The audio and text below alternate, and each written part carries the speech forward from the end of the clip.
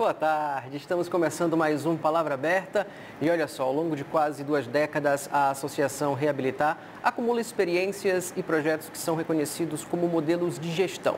E a prevenção foi a primeira área de atuação da entidade que, desde 2008, administra o maior centro de reabilitação de pessoas com deficiência do Piauí, o CEI, que já soma 1,8 milhão de atendimentos realizados. Por isso, nós vamos receber aqui no programa de hoje o neurocirurgião Benjamin Pessoa Vale, que além de fazer um balanço das ações do Reabilitar, também vai nos ajudar a entender melhor sobre empreendedorismo social, termo que tem tudo a ver com essa época de fim de ano, período em que aflora em muitas pessoas o desejo de, de ajudar o próximo. Seja bem-vindo, muitíssimo obrigado por sua participação aqui no Palavra Aberta e eu já fico lisonjeadíssimo com sua participação aqui, viu? Queria deixar logo bem claro de antemão, assim, para todo mundo saber. Boa tarde, Tiago. Boa tarde ao Piauí. Agradeço pela sua grandeza d'alma e a largueza do coração. E a satisfação é toda nossa, né? Eu acho que quando nós tentamos devolver à sociedade um pouco do muito que nos foi emprestado, é algo que salta aos olhos e engrandece o coração, enobrece o ser humano. Que esse sentimento humanitário cada dia fica mais difícil. Acho que nós vivemos um momento que a humanidade se desumanizou-se e precisa voltar a humanizar-se novamente. Você está vendo? Palavra Aberta é sempre especial. Nós trazemos aqui para esse espaço pessoas de é, representatividade que tem alguma coisa importante para nos informar. Mas hoje, saiba que vai ser mais especial ainda. Você que acompanha o Palavra Aberta sabe que eu sempre trago o perfil do nosso entrevistado. Benjamin Pessoa Vale é médico neurocirurgião, neurocirurgião é, tem MBA em gestão empresarial pela FGV, é empreendedor social, presidente da Associação Reabilitar, coordenador do projeto Pense Bem em Teresina, aqui no Piauí, e é diretor de ações sociais da Sociedade Brasileira de Neurocirurgia. Também é autor, não é? São dois livros publicados, Alma Sertaneja e Retrato Incluso. Que título interessante, instigante. O Alma Sertaneja tem muito a ver com a minha origem, né? Tem várias crônicas, são livros de crônicas em que eu descrevo parte da minha trajetória, parte da minha linha de pensamento. E tem uma crônica lá que é do outro lado do muro, que eu encerro ela dizendo que o grande mérito dos que venceram o apartheid social não é vencê-lo, é não esquecer de, dos que ficaram e ajudá-los a construir a travessia. Então, esse é o papel do empreendedor social. O empreendedor social é aquele que faz o exercício da cidadania. Você não visa na sua vida lucro economicamente. O seu lucro são a satisfação das pessoas. As suas ações é para o bem-estar da coletividade. É o setor da inovação, é o setor do crescimento humano, é o setor de transformação pelo conhecimento. Nós fazemos isso hoje pela Associação Reabilitar, fazemos isso no movimento que nós temos com 600 líderes no Piauí, que é a Rede Pense Piauí. Uhum. Então, a Rede Pense Piauí tem 600 lideranças em diversos setores, onde nós temos um bem comum, é a solução dos problemas coletivos. Então, o pensamento individual é muito menor do que o pensamento coletivo. Isso leva a uma mudança de cultura, que você tem que ter a integração dos setores, todos os setores da sociedade integrados para a construção de um bem comum. Você junta as empresas, os seus empregados, o setor público, pelos seus membros constituídos, a academia, pelas universidades, pelas escolas técnicas, pelas escolas e a sociedade, pelas suas ONGs, pelas organizações sociais. E isso se caracteriza essa construção. E todo projeto onde você envolve a sociedade civil, você consegue alavancá-lo com muito mais facilidade. Pois vamos começar a falar sobre todos esses projetos. Como é que surge então a Associação Reabilitar lá em 2006, não é mesmo? A associação reabilitar é um pensamento coletivo. um pensamento de um grupo de pessoas, observando uma lacuna na sociedade, que eram as pessoas com deficiência, e que nós observamos isso, um número grande de pessoas, representava aí 17% das pessoas no, no estado do Piauí, e era transformar isso numa política de Estado exigia essa integração coletiva do poder público. A primeira-dama do Estado, à época, era a dona Rejane Dias, e que trabalhou muito positivamente para isso. O governador Wellington trabalhou para isso, mas os setores da sociedade, as instituições constituídas, nos ajudaram muito a criar a Associação Reabilitar, com essa linha de pensamento, de fazer um modelo de gestão sem finalidade lucrativa na saúde, para transformar essas pessoas e dar a ela pelo menos o direito de ir e vir. E isso foi evoluindo caracteristicamente, crescendo, e nós hoje fazemos com que essas pessoas sejam inseridas na sociedade e se sintam cidadãos e sejam vistos como. E a associação Reabilitar é a que dá também, acaba dando suporte ao CI, não é isso? Porque está ali junto, né? A Associação Reabilitar, na verdade, ela administra o CI, é a gestora do CI. Então, nós trabalhamos na elaboração do projeto conjunto com a CEID. Então, nós somos contratados, temos um contrato de gestão com a Secretaria de Saúde, não é com a CEID, é com a Secretaria de Saúde, onde o braço do poder público, que é o braço contratante, e nós somos o braço contratado, a Associação Reabilitar. Então, nesse contrato de gestão, todos os funcionários do Centro Integrado de Reabilitação são da Associação Reabilitar. O, o CI não tem funcionário público. Uhum. Então, mas é custeado parte pelo Estado, parte pela iniciativa privada, parte pelo governo federal. Nós temos projetos junto da Receita Federal. Já fizemos dois bazares, três, se não me engano, é dividido com outras instituições, em que o lucro dessas mercadorias que são cedidas para as associações são empregados para os projetos sociais. E isso que é de tamanho interessante. O CEI hoje atende três deficiências: a deficiência física, a deficiência intelectual e a deficiência auditiva. E além de ter o processo da oficina ortopédica, onde nós fabricamos braços para quem não tem, perna para quem não tem, fornecimento de órteses e próteses, todos pelo Sistema Único de Saúde. Obviamente com alguma dificuldade, a tabela do SUS há muito tempo não é reajustada. E tudo que você tem custos nesse país, e do outro lado tem, não tem reajuste, você tem dificuldade Sim. de executar mas o processo. Tudo é um processo. Alguém faz, alguém fez e alguém paga a conta. Então isso nós fazemos com essa interligação com a sociedade, o que é bem positivo. Tem o centro diagnóstico, onde nós temos vários exames, inclusive uma ressonância magnética de última geração e todos disponíveis para o Sistema Único de Saúde. O atendimento do sistema do Centro Integrado de Reabilitação é eminentemente público pelo Sistema de Saúde. E com a pandemia, vocês lá também é, acabaram trazendo um, um espaço de tratamento pós-Covid também, não é isso? Quando o, o olhar do empreendedor social é diferente, nós, enquanto médicos, observamos qual seria o desfecho dos pacientes da pandemia. Então, nós observamos que muitos pacientes saíram sequelado, uhum. com insuficiência cardíaca, com insuficiência respiratória, com polineuropatia, que é o paciente com dificuldade de andar, com miopatia, com atrofia muscular. E sugerimos, junto com o governo do estado, com a Secretaria de Saúde e com a sociedade civil, abrir um espaço para o centro, no centro de reabilitação, para a reabilitação dessas pessoas.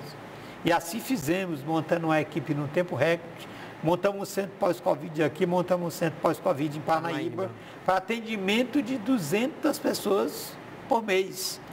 E isso custeado pelo governo do estado e em parceria também numa pequena parcela com o governo federal, mas com a participação ativa da sociedade civil. Quem não lembra da, da campanha Vamos Vencer Juntos, da rede Pense Piauí, onde o Centro Integrado de Reabilitação era o centro de captação em máscaras para os hospitais, aventais para os hospitais, álcool gel para os hospitais.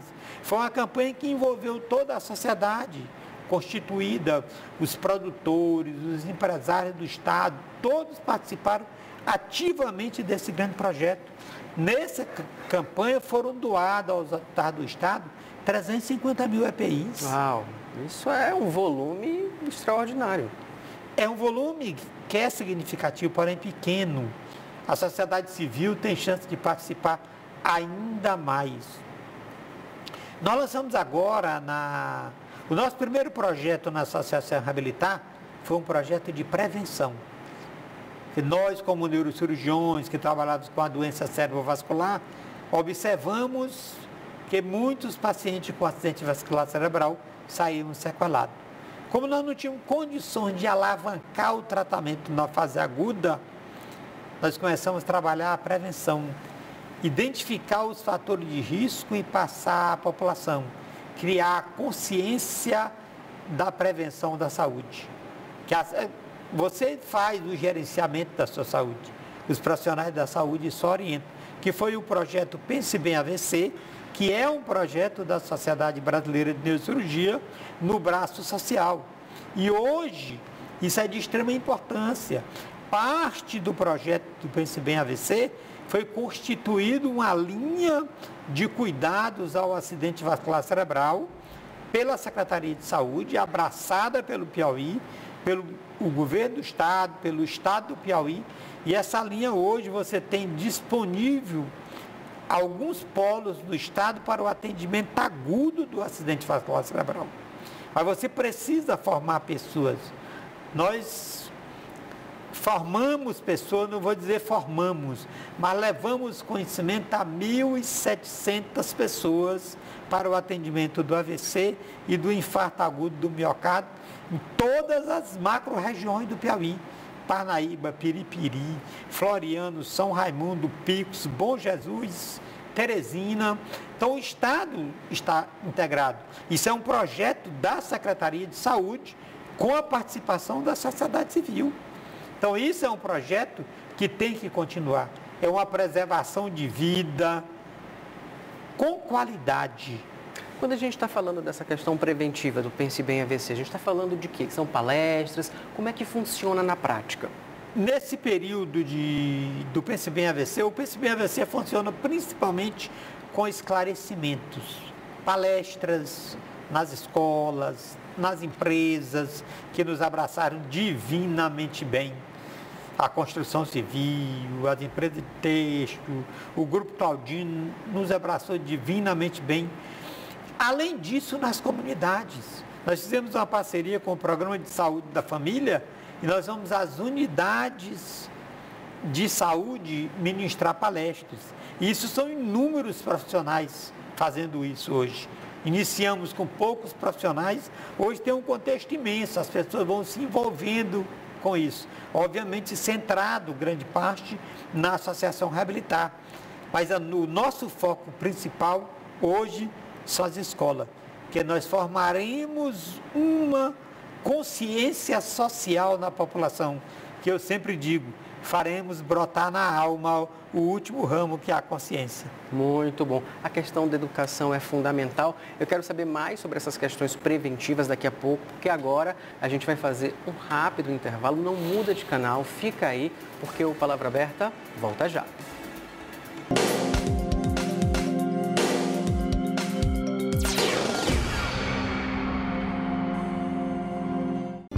Dezembro é o mês internacional de luta contra a AIDS. Está na dúvida? O mais perigoso é não saber. O teste rápido pode ser feito nas unidades de saúde mais próximas da sua residência. O tratamento é feito com medicamentos antirretrovirais que são fornecidos gratuitamente pelo SUS. Combatem o vírus e fortalecem o sistema imune. A TV Assembleia apoia o Dezembro Vermelho. Previna-se.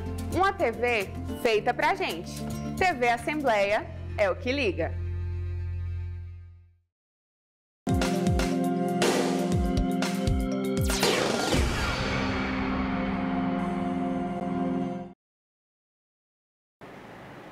Nós já estamos de volta com o programa Palavra Aberta e claro que a gente vai continuar falando sobre empreendedorismo social com o neurocirurgião e presidente da Associação Reabilitar, Benjamin Pessoa Vale. A gente ficou falando, deixou no ar no nosso primeiro para o segundo bloco, sobre essas questões preventivas, do quão é importante é, se falar de prevenção. Qual seria a melhor e mais eficaz prevenção quando a gente fala de AVC, quando a gente fala de infarto? levando em consideração que a maioria dessas sequelas também são tratadas lá no CI, não é mesmo? Quando você fala em prevenção, a prevenção é o melhor de todos os remédios. Por mais que você tenha um tratamento de ponta, se você consegue prevenir a doença, é a melhor coisa que você faz. Qual é a nossa dificuldade em prevenção? É o gerenciamento da saúde pessoal. Porque tudo que você vai fazer na vida que exige sacrifício pessoal é difícil. Quais são os fatores de risco do acidente vascular cerebral e, consequentemente, do infarto? É o colesterol alto, é o sobrepeso, é a dislipidemia, que é, que é o colesterol alto, na verdade, é a pressão alta. A principal causa de AVC hemorrágico, que é por sangramento cerebral, é pressão arterial não controlada. E o cidadão tem dificuldade de fazer esse controle. Porque controlar a pressão e controlar a doença crônica, tipo diabético, não é só você tomar o remédio. É tomar o remédio é uma né? variável. Você tem que ter uma boa alimentação, tem que ter uma boa noite de sono, tem que se preocupar pouco, tem que manter o peso e tem que comer pouco. E uma Eu sempre digo que depois também, né? dos 40 anos você tem que fazer algumas coisas importantes. Comer a metade andar o dobro e sorrir o triplo. não é fácil, não. Né? Não é porque existe sacrifício pessoal. E aí é onde entra a questão de você ter o fator educacional, o fator do conhecimento. E você começa a ser o papel do empreendedor social é quando você começa a ser agente de mudança na sociedade. Então você preparar o cidadão para exercer a cidadania e ser agente de mudança, aí você começa a ter uma consciência social que vai se aglomerando e juntando pessoas que querem fazer. E é esse sentimento que transforma. Eu falava com a Aline há pouco tempo sobre o Herbert de Souza, que a ideia permanece, que é o Betinho. Essa época todos nós lembramos deles, que é o Natal sem fome, quem tem fome tem pressa. Então, isso é que é o fundamental, é a ideia. A ideia permaneceu. Então, aí você tem que juntar pessoas, é transformar pelo conhecimento. Mas isso tem que ser o ano inteiro, né? Não dá para ficar tem que ser a vida inteira. Só tem que ser a vida inteira. E o conhecimento é algo fenomenal, é quem transforma. Muitas coisas podem lhe fazer crescer, mas quem transforma o ser humano é o conhecimento. E o conhecimento tem uma característica natural, ele se multiplica pela divisão. Quanto mais você divide, mais ele se multiplica. Doutor Benjamin, tem mais um desafio aí pela frente, porque eu estou sabendo que vocês estão equipando a nova maternidade. Já tem 30% desse equipamento, já, já, já, já está por lá, né? Eu queria que o senhor falasse um pouquinho para a gente sobre esse novo desafio que se apresenta aí ao senhor. A nova maternidade acho que é a obra mais esperada no Piauí nos últimos anos. Ela vem sendo construída há quatro anos, tem 95% da construção física pronta, e a Associação Reabilitar, em contrato com a Secretaria de Saúde, estamos participando de uma gestão compartilhada. Estamos na fase de aquisição de equipamento, de licitações. Obviamente, uma maternidade com aquela estrutura física tem que ser montada com o melhor que se pode. Não só em equipamentos, mas com as pessoas. As paredes sustentam e enfeitam, quem faz a diferença em qualquer coisa são pessoas capacitadas. Então ali nós temos que trabalhar a capacitação das pessoas, escolher bem os, os equipamentos com que vamos trabalhar, mas principalmente fazer da maternidade uma rede de suporte materno infantil para o Estado, que tem como cabeça de rede a educação básica no município, e isso vem para a macro-região, até chegar na maternidade, que é terciária. Se nós ficarmos resolvendo somente o problema terciário com o problema formado, nós teremos sempre problemas a resolver. Se nós fizermos uma rede de atenção materna infantil, certamente nós diminuiremos os problemas que chegarão à maternidade na, na atenção terciária. Você começa na atenção básica, vem para a secundária e vem para a terciária. Então isso é uma transformação. E eu acho que a maternidade é um grande desafio. Mas os desafios foram feitos para serem cumpridos. E isso é o que nós entendemos. E quando nós temos o compromisso, temos o conhecimento e temos a integração com os setores da sociedade, facilita você fazer a gestão. A gestão é de extrema importância, tanto no ponto de vista de pessoas, como no ponto de vista de gerenciamento da cadeia materno-infantil inteira, com a participação de todos os seus agentes, desde a base até o terciário. Então representa mesmo para todos os piauienses um marco, essa nova maternidade. É um marco significativo, é uma obra imponente, deve, fica na Avenida Kennedy, estruturalmente, mas funcionalmente nós queremos fazer a maternidade com três princípios clássicos que regem a boa gestão: a ética, a consciência científica e o humanismo. Deve seguir com o mesmo nome da maternidade Dona Evangelina Rosa ou pensa-se em outro nome? De princípio, mantém-se a maternidade Dona Evangelina Rosa. Talvez nova maternidade Dona Evangelina Rosa ou N seja só emblemático. Eu acho que, sim, do ponto de vista de sequência do Estado, deveria ser maternidade Evangelina Rosa, Dona Evangelina Rosa mesmo, que já é um marco. Grande parte da população do Piauí nasceu na maternidade Dona Evangelina Rosa. É representativo, né? Exatamente. Né? Eu tenho um filho, meu filho mais jovem nasceu na Dona Evangelina Rosa. Que legal. Então, para o senhor também tem todo um, um, um, aspecto também emocional. Tem, tem um aspecto emocional, tem o aspecto afetivo. Tem, sempre que se fala em maternidade no Piauí, nós vamos lembrar da dona Evangelina Rosa. Então eu acho, na minha opinião, que não tem por que mudar. Tem que continuar maternidade Dona Evangelina Rosa. Essa é a minha opinião. Mas eu, eu estou num contexto social. Então, tudo é possível, né? A gente está chegando próximo ao fim do nosso programa e eu queria que o senhor é, falasse, é, deixasse essa mensagem que a gente vem trabalhando aqui, que a gente vem discutindo ao longo do programa sobre a importância desse empreendedorismo social, assim, tanto do lado de quem está das instituições, mas também da sociedade civil, que todos possam se unir, que todos possam se irmanar, principalmente para o bem comum. A, a sociedade civil tem um papel de grande relevância em qualquer sociedade que se constrói. Eu acho que o terceiro setor, que é o setor social, a economia é constituída de três setores: o setor primário, o setor secundário e o, e o terceiro setor. O terceiro setor, que é o setor social, eu acho que é a única coisa que se interpõe entre nós que nos achamos normais e a catástrofe social. Esse é o setor social de extrema importância. E ele cresce com a consciência da sociedade civil. E eu acho que o Estado do Piauí, com o trabalho da, da, das instituições, entre elas a Associação Reabilitar, a Rede Pense Piauí, com todas as suas lideranças, junto do empresariado, vem constituindo algo importantíssimo nesse Estado, que eu acho que daqui a cinco, seis anos ou mais, nós teremos uma transformação significativa nesse Estado, em termos educacionais, em termos de saúde, em termos de equilíbrio social.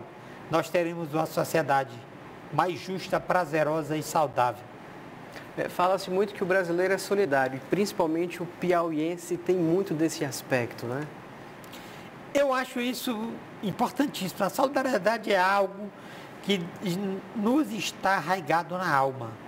Nós temos outro projeto que eu acho que é um projeto solidário, que poucos piauienses conhecem, que também é da Associação Reabilitar com a PPM, com os municípios e com a Secretaria de Saúde, que é o transporte seletivo entre rios.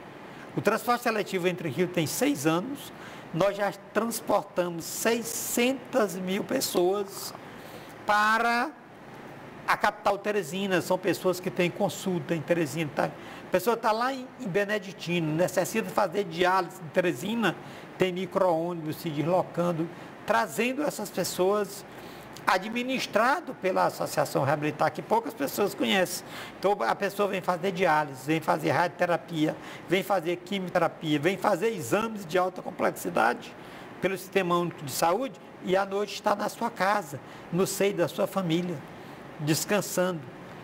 Evita ficar aglomerando a capital, tendo despesa. E uma coisa que nós fizemos nesse projeto é que todos os motoristas dos micro-ônibus são das cidades onde o projeto está convenhado com a prefeitura. Mas são funcionários da Associação Reabilitar, não são das prefeituras. Que beleza. Mas tem toda essa parceria, essa rede, esse leque de parcerias. A associação, a PPM, a sociedade civil e a Secretaria de Saúde, a CESAP, pelo governo do Estado, obviamente. Doutor Benjamin, queria ter aqui a tarde inteira para a gente poder discutir falar sobre esses projetos que são maravilhosos. Quero parabenizar a sua pessoa, mas é, em nome de todos que fazem a Associação Reabilitar e esse trabalho da mais alta qualidade, parabéns demais, viu? Muito obrigado por ter participado aqui do Palavra Aberta. Nós aqui agradecemos e sempre que for algo em comum para a sociedade e que traga algum benefício para os, os piauienses natos e de coração, nós estamos à disposição. Muito obrigado e obrigado você que sempre acompanha o nosso programa. Pode assistir esta e outras edições acessando apenas as nossas redes sociais. E você sabe que de segunda a quinta-feira a gente tem um encontro marcado aqui na tela da TV Assembleia, canal 17.1. Claro que eu conto com a sua audiência no próximo programa. Tchau, tchau. Muito